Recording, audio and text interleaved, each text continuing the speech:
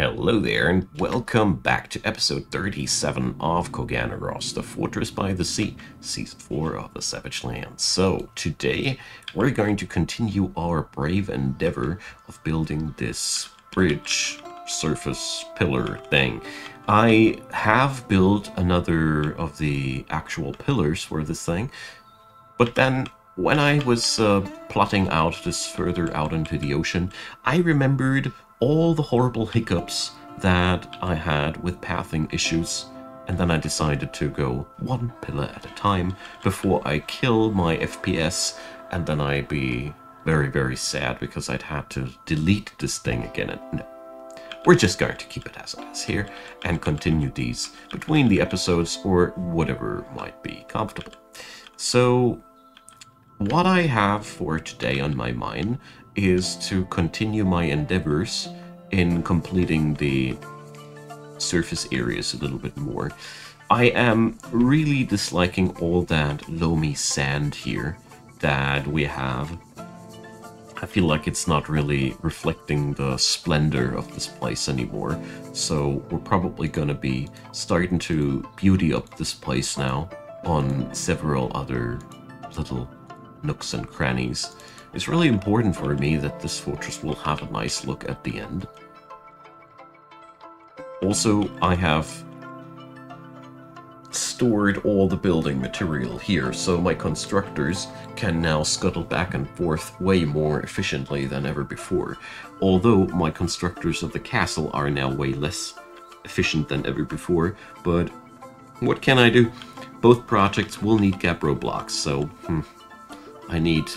I cannot really store them effectively at two places at once, so I figured we're going to go for, for this then. Because the pillars themselves will be built mostly out of Gabbro, so I need to store Gabbro here in the close vicinity nearby. It's a thing that I cannot change. So, really looking forward to the completion of this project, especially when the pumps will finally spurt out water here. That will be a glorious moment for me. Oh man. But we're still quite far away from that, and sadly there's still a lot way a lot more to do. It's worst for me are all those building projects that are left unfulfilled because we're just not getting the jobs done quick enough. So let's see what I can optimize down here. Hmm? So here at the Stonecutter's workshop, we could increase the amount of wheelbarrows, so the amount of uh, Gabbro blocks that we got lying around is increasing as well. It's the best uh, shot that I got. But apart from that, this uh, fortress is running well. We have our typical 16 unhappy people here. That's uh, somewhat like a constant here. But, well, what I want to do here in between as well is I want to task the Royal Engraver with a couple of new jobs. Beauty up those apartments. There we go. This should make people happier as well. Can also engrave built uh, constructed walls. Some reason, yeah, okay, this part has been engraved. The rest has not. Yeah. I have slight hopes that increasing the value of the the apartment blocks like this could ease down the dwarves. I mean, if I would be really power gaming for their happiness, I would be, of course, specifically targeting these apartments and beauty up the apartments only of the dwarves in question, so they get a lot of good thoughts when they head back home the next time. Just as food for thought if you are struggling with that and you like the idea. So... Oh, whoopsie, I need to cancel that one. So... I'm also wondering what kind of uh, export artic uh, article the Fortress of Koganaros is uh, supposed to be famous for. Is it fish? We're not we're not fishing anything. Is it gold? We got lots of gold. I think that would fit into the narrative quite well, huh? So, there has been also the question whether or not my bedrooms are assigned to the uh, tavern or not. You guys were right. They were not assigned to the tavern. I only thought I did that. So, we need to, to link those to the geared olive. Wait a sec. I hate it when they do that.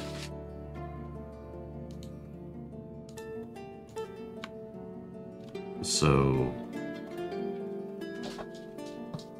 Why are these named differently here? Ah, no, because we have three of them by now.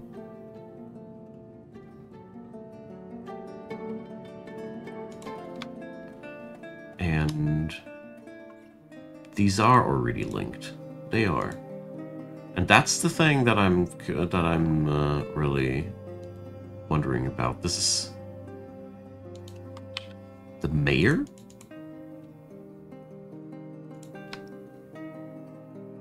And good thing that I checked. Ah, well, it is a fresh job. I was like, oh, I almost missed a a new order of leggings, but no, these are these are the most recent order. Uh, it's the most recent uh, order of leggings. So, Her Highness, what the hell are we going to do with all those leggings? I like have an idea though already. I mentioned it already in the last episode. Alright. So I already ordered these to be made out of gabbro instead of glass because I figured that we don't need to do this to ourselves anymore, you know. So... That is fine progress. The only thing I'm bothered with is that nothing here gets done at all, but well, I can't get everything done at once, I guess. It's just hard to discern which uh, jobs are are frozen and bugged and which ones are just, you know, not, not done yet. This is really something I have a hard time discerning. So, my cobaltite vein mining is reaching, it's hitting its limits.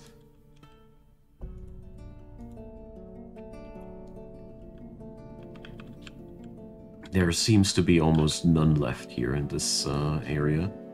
So let's order some new mining here. There we go. Hopefully this will get us somewhere. I mean, a lot of the pathways are already done, but obviously we don't have enough cobaltite for the entire place yet. Sadly. Okay, but look at that. Can finally order new areas here. Oh, it's so good.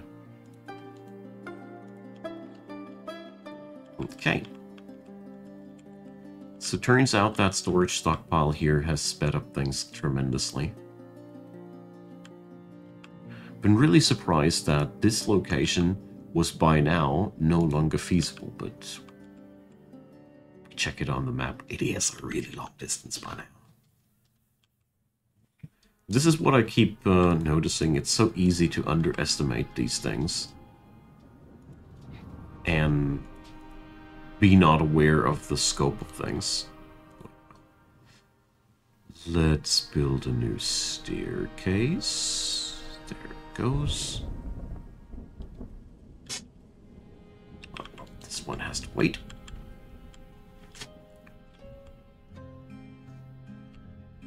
But well, at least things are getting done now. So I have high hopes that with one or two episodes ahead of us, we are finally going to start working towards our pump stacks. I'm really positive about that. I mean, technically, after that, I could play this fortress on and make it the next mountain home, but I've already elaborated a episode or two ago, or when, that I don't deem this a proper mountain home location. It's not even a mountain here. I'll build a mountain home in this series. I think this could uh, really post up the finale of the series as well, because I'm eager to try out a new world at some point as well, you know. I like this project, but it's been my very first Saga project, and there's a couple of things that I'd be doing different next time. Just as a couple of thoughts. But yeah, this ain't Mountain Mountainheim, Mountain Home location. Dear brain. Good. So the leather leggings have been made, so Her Highness doesn't have to go crazy about it anymore. And... Oh. This part is almost done, my friends. So after that, we'll have to think about the question how the pillars will be composed. I don't want to have them floors in between, because I feel like that would be really a a horrible ordeal, but that would also mean that I'd be needing to build them layer by layer, because if I don't have any floor in between, there there will be no option for them to reach the walls. Ah, it's such a such a nasty thing. So my idea was that we're going to work with some stone type that I haven't worked with yet, procure that in larger amounts, and work with a floor system that will save me from going crazy. Because otherwise I will. I really know that. Ah, that's where part of my stonecutter's capacity is going into. The floors of Koganaros are being remade. Of course, silly old me. Didn't notice that. So, what type of stone could be a good candidate for that? Where do I have stupidly huge amounts of? which are not Gabbro, because obviously I, I need to save that. And ideally, it'd be something that is not too far away from the city, so I don't have that insanely high hauling effort. Dolomite. Yes, Dolomite, my friends. Dolomite is the answer. We have so much of that stuff here available still we can totally go for a big, fat strip mining operation here. And this is only the very first layer of the stuff. Alright, we're going to work with dolomite blocks. And gabbro. Dolomite, gabbro, dolomite, gabbro. Well, I'm considering using different colors so can can have a visual indicator on which level I am currently at. But I think it'll work because I'll be simply using the dolomite together with glass if I need another form of distinction. Now, we're going to set this up as our dolomite storage. Obviously, we need that. I love how in this game, business never stops. As long as you have ideas, business never stops. I love this. Okay. There we go. I'm gonna carve out larger areas here as well. But that's, uh, That's for someday else. Another set of leggings. More leggings, Jurist! More leggings. I need to have the ultimate pair of leggings. So speaking about which, we still got plenty of time for today's episode. Let's head to Her Highness's apartments and do something which I wanted to do a long time ago already. So we're going to procure a new batch of rock salt here. And we're going to add a new wing to Her Highness's tomb. You might already guess where this is ending, eh? So, but I figured that this is the ideal way of uh, illustrating the insanity of this woman.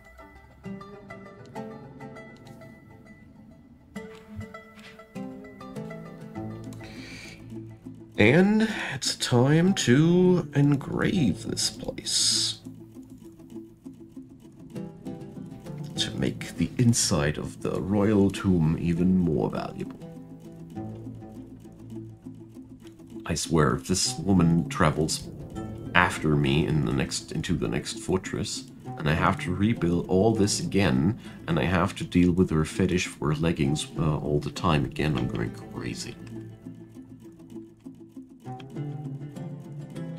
Queen is giving me PTSD already ahead uh, of her time. So, well, officially they're um they're starting to build these walls soon. Yeah, right. Nice. So, well, making big progress there, nevertheless. Nevertheless, so next step, we're going to allow dolomite for non-economic jobs. Otherwise, it would be bad. And now, of dolomite because we're not cutting enough rock blocks already, you know. We, we need more of these. This time, the blocks of dolomite. This fortress is going bonkers in terms of stone cutting, but it is as it is. We are going to store, of course, dolomite blocks here in the future as well. And now I have three different colors that I can use for the floors. I really think I'll need that, otherwise I'll go insane because I have no chance of discerning the last uh, uh um, floor from previous from the next. Here in the fortress area, I bit the bullet of doing this like I do it here. Out of one simple reason, I want a uniformist look up here. That's the only reason why I'm do why I'm doing this to myself. I want that uniformist look because I think it's awesome. But Otherwise, hell no. I'd be not doing this to myself. Alright, so, speaking about doing things to myself, we're making fine progress here, and it's time to head back to the city and see if my mining dwarfs were already busy dwarfs. Yes, they are. Brilliant. So, this is, uh, we're, we're going to take operations next level. Oops. So, more stone workers. Simply more stone workers. There we go. So eight more of these. I'm not going to increase the number further because I think it's going to get grotesque at this point and even more than I'd actually need. And the unhappiness in the fortress is stacking up. I gotta keep an eye on that. I mean, it could be and that's what I'm personally suspecting, that the people working out here on the bridge are increasingly unhappy. But we should have a check here. Soldier, no activity. Mayor is part of the Copper Oranges squad? Now that's not right.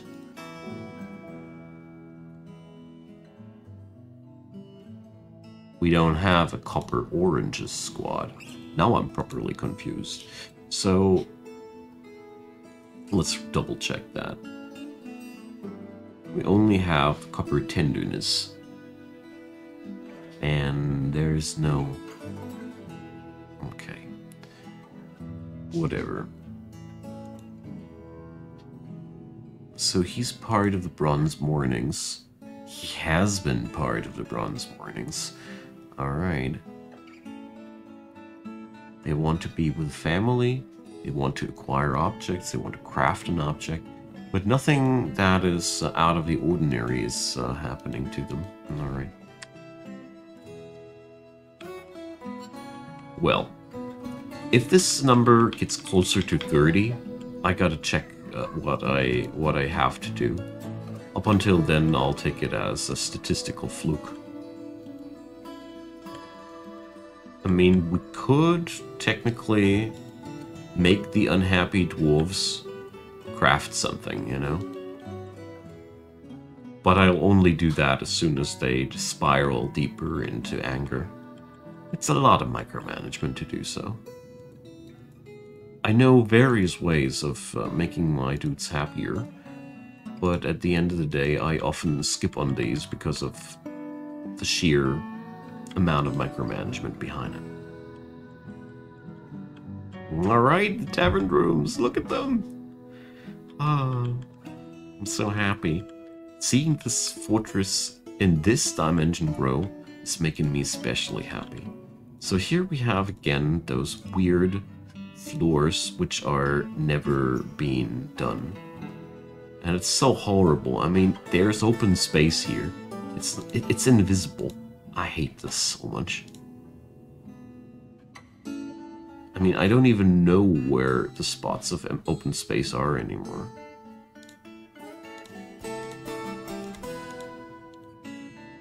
But for some reason, these jobs just don't get fulfilled. I have no clue what the hell's wrong with them, but they are unfulfillable. This happens quite regularly, and if somebody knows what the hell is going on there, please let me know. Be so kind and let me know, because I'd really be super happy to know what the hell's gone wrong with these work orders. I mean, my personal assumption is it's just a bug.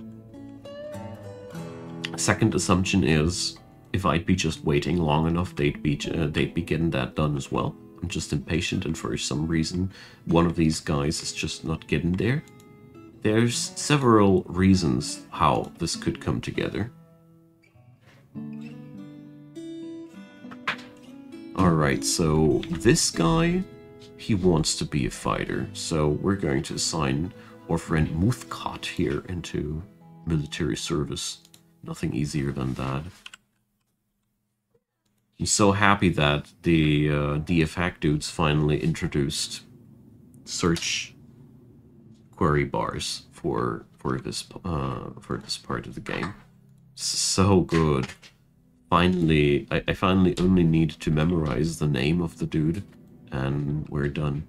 So let's see if Muthkat is going to be happier now that he can fight and train. So this guy, Hall, wants to be fighter as well. They're all from previous uh, squads, and I think, yeah, the Lance of Faith. These guys come from Shin Mistim. They're used to fighting. They're unhappy because they cannot fight. This is one of the parts I love, where I feel like this game's uh, love for detail is insane.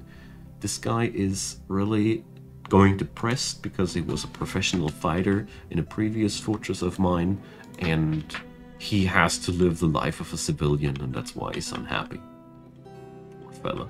Let's help him out on that. We've plenty of killing to do. Worst case scenario, we're going to fish up a fourth squad that we're going to station somewhere downstairs. Indigo Tourmaline. I haven't seen that one before. So we're even raking in some new types of gemstone here. But I think, I'm afraid... Oh, we can actually dig that out still. Nice. Oh yeah. I thought like they sound valuable. And I was right. They are valuable. Hell yeah. Nice. That's a good stash. So it turns out my Dolomite project is not only raking in new blocks to work with, it's also raking in new gemstones to work with of that. It's one of the good things. Strip mining always uh, ends up with bringing in new resources to work with. Okay. So, technically, we should see some dolomite blocks up here as well soon. No? Yeah, I have ordered them. They're not being delivered yet, though. Well. This is still huge progress here, I mean. It would be smarter, though, to stop the construction here and um, force the construction at the sea bridge first, instead of doing pro two projects at once. I'm well aware about it, but can't stop myself from doing so. Oh. yeah, right, about that. Hmm. This wasn't the floorboard I was expecting. Whatever. I'll leave it like that for now. I don't mind. Um, I'm honestly happy that at least there is a piece of floor now that I can easily discern later from the rest of it. it has its uh, clear advantages. Okay, let's order the remaining walls. Look at that! They they managed to wall off this place without without big screw-ups. I'm proud of my little blokes. Good. So now they need to get that done more regularly, though. So snatchers protect the children. Protect the snatchers? Suckers. So we're going to send one squad after these, and another squad will just uh, check out how the situation is here. Yeah, they're just running away. Okay.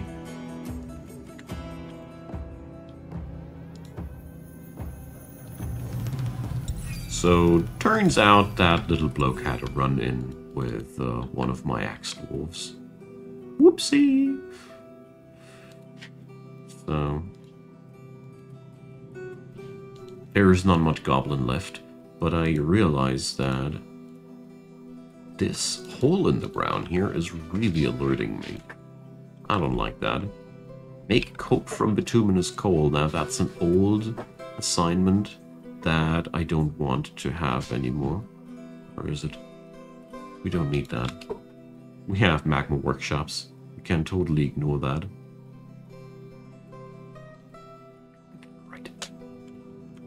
Way better.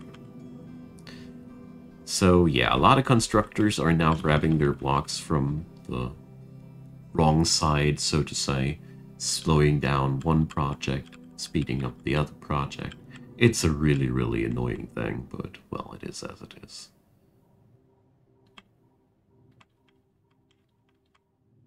That's why I'm not pressuring the construction of the surface rooms too much.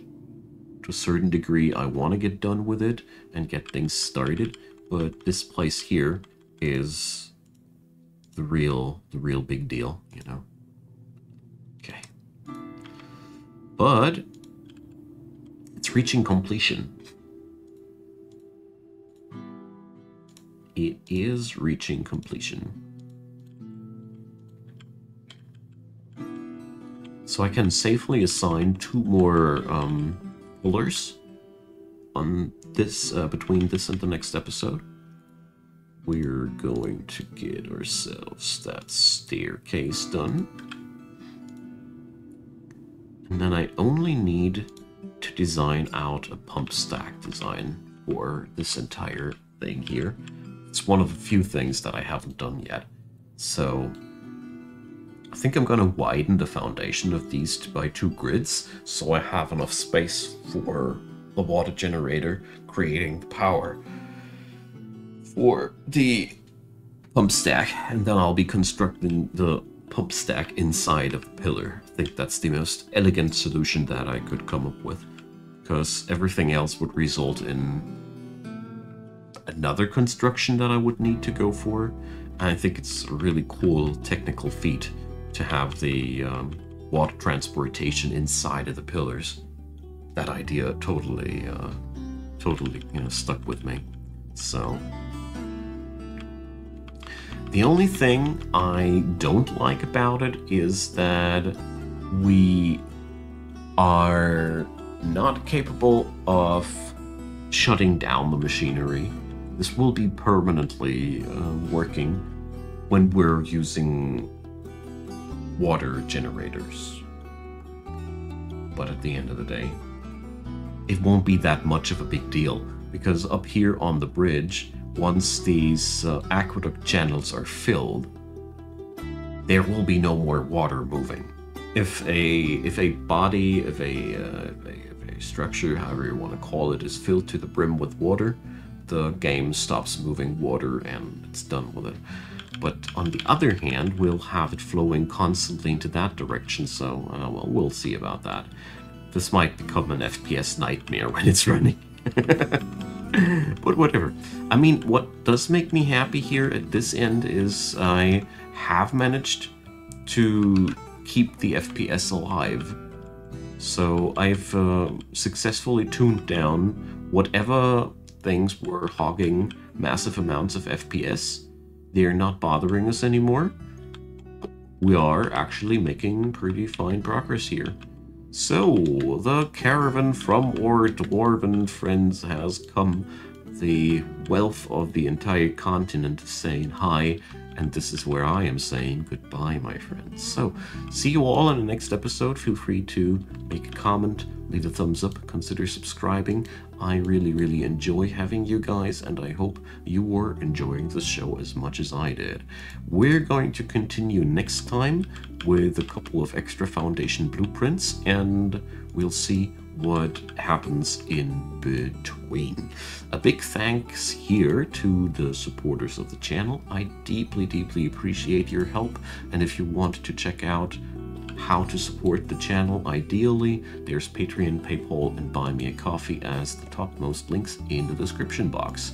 Also links to the entirety of the playlist, to all the other seasons of the Savage Lands, and a lot of other goodies. So, thanks for being around, thanks for watching this video until the very end, and I hope you're having a great day. See you soon, bye bye.